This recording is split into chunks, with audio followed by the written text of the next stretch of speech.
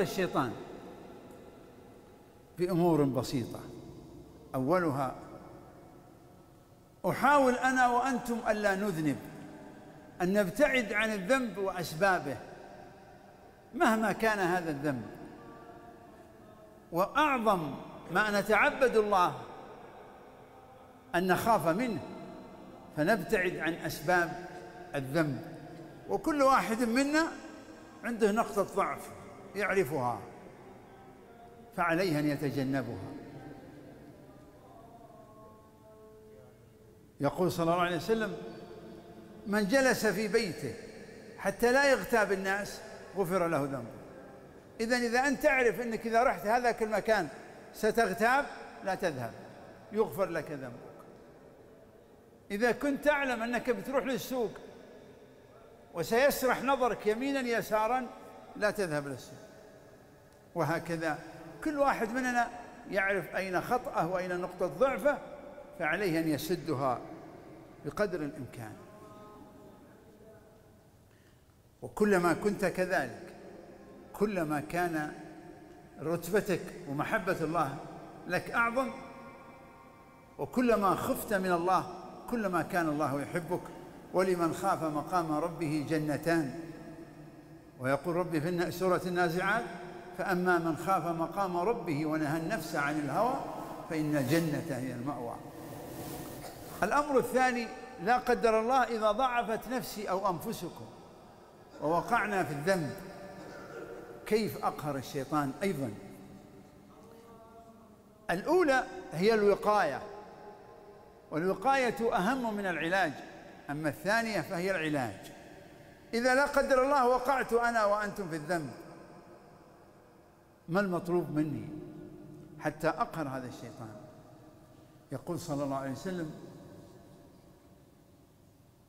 إن الله أوحى إلى صاحب القلم في الشمال أن لا يكتب الخطيئة إلا بعد ست ساعات من وقوعها فإن تاب عبدي فألقها وإن لم يتب فاكتبها.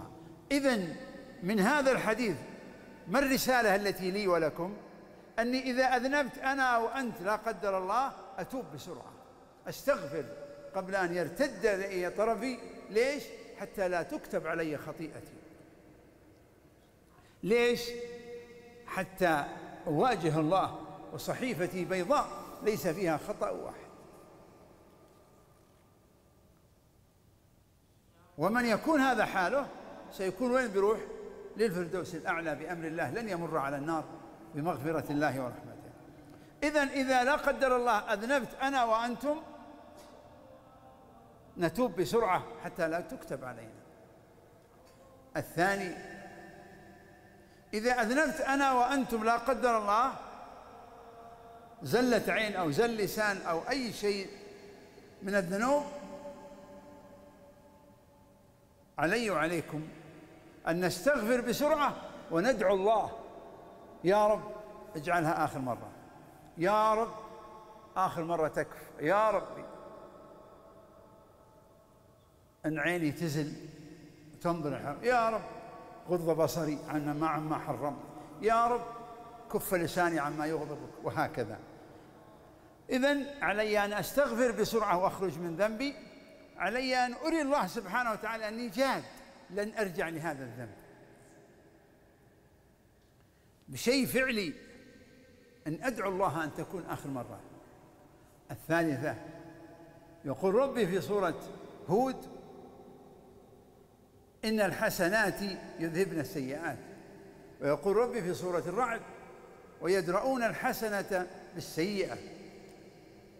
ويقول صلى الله عليه وسلم واتبع الحسنة السيئة تمحها إذا إذا أذنبت أنا وأنتم لا قدر الله علي أن أستغفر بسرعة. أدعو الله أن تكون آخر مرة ثم أحسن. مرتين ثلاث أربع. وكلما يزيد عدد الحسنات التي بعد الذنب كلما يزيد دليل على إيش؟ على محبتك لله دليل محبة الله لك. إذا أنا أذنبت لا قدر الله زلت عيني. أسبح مئة مرة أستغفر مئة مرة أتصدق بماء أكلم أمي أكلم خالتي.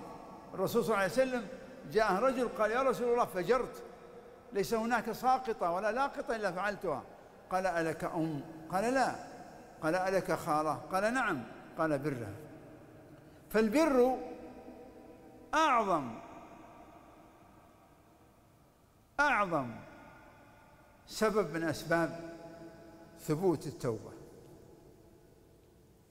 إذا كلما زدت حسناتك بعد كل ذنب اربط.